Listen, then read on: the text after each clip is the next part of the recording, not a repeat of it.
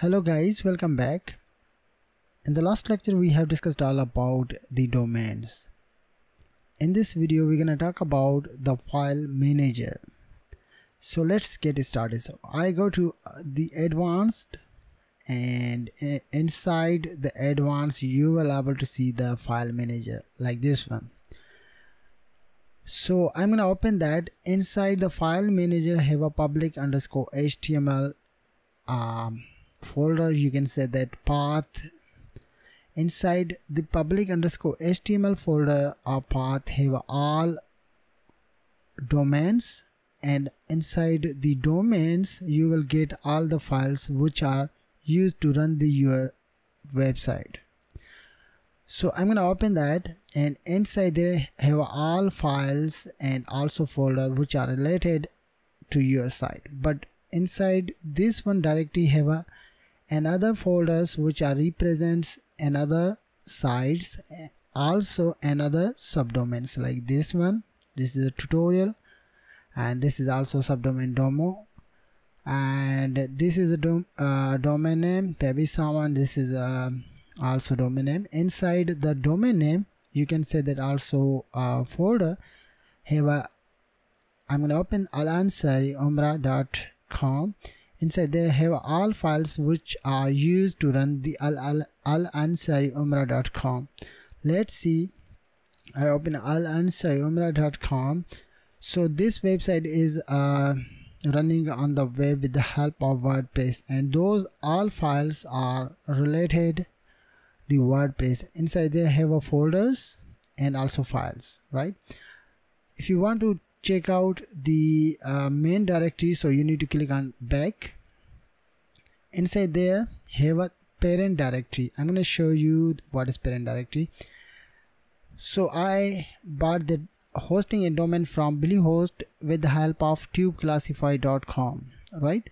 So those files all those all files are represents by this one domain. But inside there have also another domains which are represents another websites. For example you want to add another domains then the domains directory will be created inside public underscore html path. You can use that to upload the website or create a website. I'm going to show you practically example on that. For example we have made the domains. I'm going to show you the domains uh, like tutorials subdomain tutorials.alansari.com i'm going to show you how you can use that to upload your website. But this time i'm going to show you how you can upload a static website like html based website. So i go to subdomains and i'm gonna check out as you can see tutorials.alansariumrah.com so this is your domain subdomain and this domain directory will create inside the public underscore html path. Once you add the domain inside the hosting then the directory will be created automatically. Then you will use that to uh, install the WordPress or upload any website as you want. This time I'm going to show you how you can upload static website. So let's get started. I'm gonna open a public uh, i mean uh, tutorials folder. You can't see anything else without default folder with the name of cgi hyphen bin. So i go to my desktop. Uh, i think uh, i check out the uh, Camtasia. I go to uh, I cut that. This is I think a shop uh, so this is a theme I think. So I template. This is the HTML based template so I'm gonna check that template and I'm gonna open index.html yes this is a simple template. This is a html based website. You can say that html based website right? So i want to upload this one website or template inside my domain like tutorials.alansari.com on this one domain subdomain.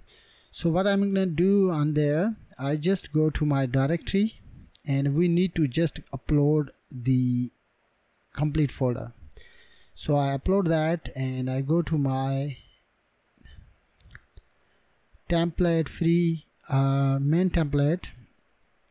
Those are files. You need to select all the files right click it and then you need to click compress zip this is a folder you need to drag and drop inside your hosting panel. Then you need to wait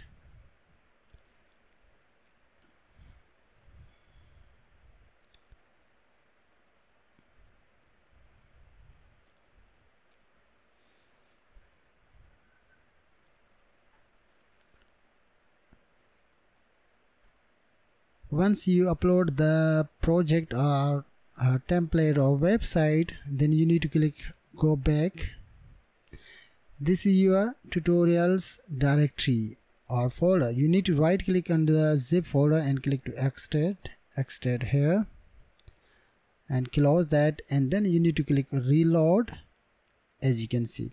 So let's see your site is running or not. So let's refresh the page or open the website as you can see this is my live site running on the web. And we have uploaded the folder uh, I mean template like uh, this one.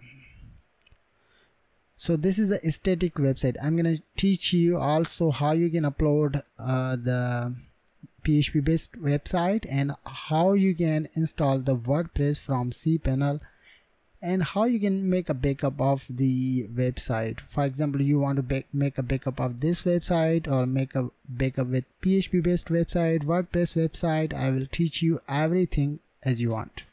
So i'm going to close that. So this is a call file manager. If you want to go back you need to click on back.